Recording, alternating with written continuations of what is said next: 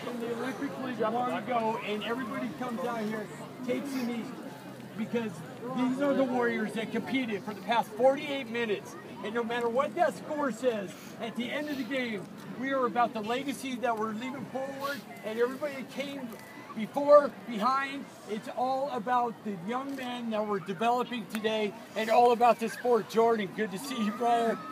I love you guys. The coaches give everything for you. I see a lot of guys out here that are brothers right across the pond here, across the bridge. This is about the game. This is about the students and developing our youth. The legacy that we're moving forward. Will you pray?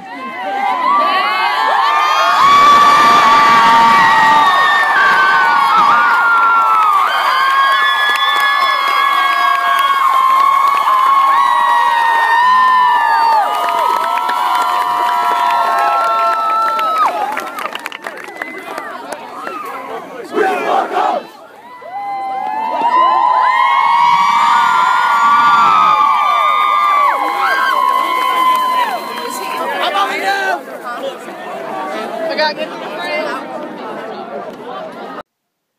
a lot of people have different opinions on the Coach Kennedy situation, but my input on it is that honestly, I pray all the time. You know, why not pray to the thing that got you to that situation?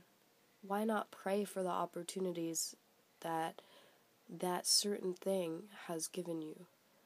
and whatever that thing is, I think that anyone should have the right to pray to the thing that they believe in.